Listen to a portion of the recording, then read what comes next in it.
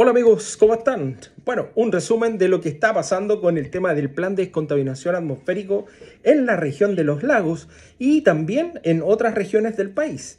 Eh, por estos días ya se ha oficiado en dos oportunidades a la Cámara de Diputados, a la Comisión de Agricultura, a la ministra Maisa Rojas, por ser quien lidera este tema en el Ministerio de Medio Ambiente para que dé explicaciones de por qué han tomado en definitiva, esta política de erradicar el uso de la leña en nuestro país, considerando de que va a afectar a una gran parte del territorio nacional. Pensemos que esto afecta desde la región de O'Higgins hasta la región de Aysén. Localidades que hoy día están llegando incluso a menos 20 grados bajo cero. Por lo tanto, desde ese punto de vista, eh, la política energética del Ministerio de Medio Ambiente va en contraposición a lo que es la política del Ministerio de Agricultura y también a la política del Ministerio de Energía, que están tratando de potenciar el uso racional de la biomasa. Recordemos que la leña es un recurso renovable y que se debe usar sabia y prudentemente para no agotar el recurso. Por otra parte, el Ministerio de Medio Ambiente está tratando de potenciar el uso de equipos a calefacción que ocupan electricidad. Yo creo que hoy por hoy nadie en su sano juicio se atrevería a encender más de tres o cuatro horas el equipo de electrónico para calefaccionar cualquier tipo de espacio por la alta tarifa que va a llegar a partir del mes de junio-julio en adelante. Y ojo, que la tarifa va a volver a subir en el mes de octubre y en enero del próximo año, lo que hace predecir de que podría aumentar hasta un 150%.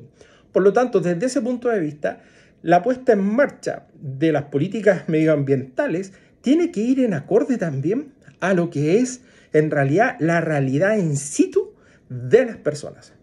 Y ojo, esto no es un comentario político, sino que es más bien un comentario de tipo técnico profesional en materia de desarrollo de la biomasa de nuestro país, porque aquí no es solamente que se beneficie un sector, como dicen los comentarios de los videos, por ejemplo, que dicen, no, que es para vender pellet, pellet, pellet, pellet.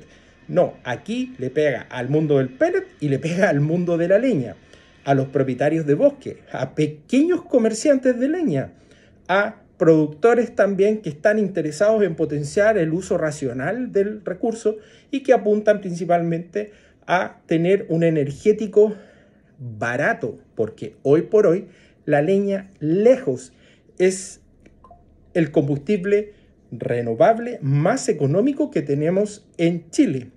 Estos mismos problemas se están viendo en Argentina, en Uruguay, en Paraguay y en el sur del Brasil, porque allá la leña y la biomasa está en apogeo y está aumentando.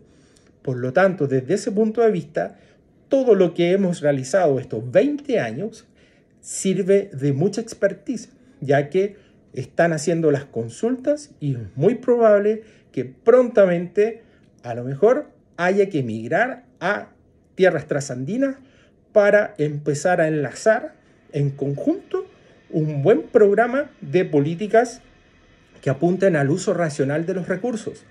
¿Por qué? Porque los 20 años de experiencia que tenemos de desarrollo de biomasa en nuestro país, en Chile, puede ayudar a potenciar el uso de las energías renovables en otras latitudes.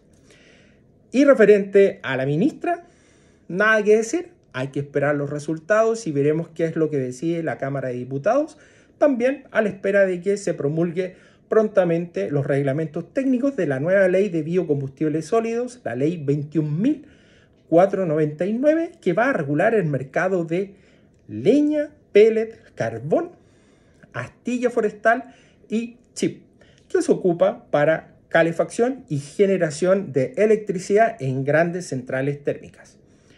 Eso por el momento, voy a estar informándoles y este video que era cortito, ya se nos alargó bastante más. Así que atento amigos al próximo video que vamos a ir subiendo a la comunidad y que estén muy bien. Traten de aprovechar el calorcito de estos días y no cierren el tiraje de sus estufas para no pasar problemas con el Ministerio de Salud, que son los que se encargan de las fiscalizaciones en las ciudades que tienen implementados también los PDA y que las multas son realmente bastante saladas, sobre todo en periodos de crisis económica. Que estén muy bien. Adiós.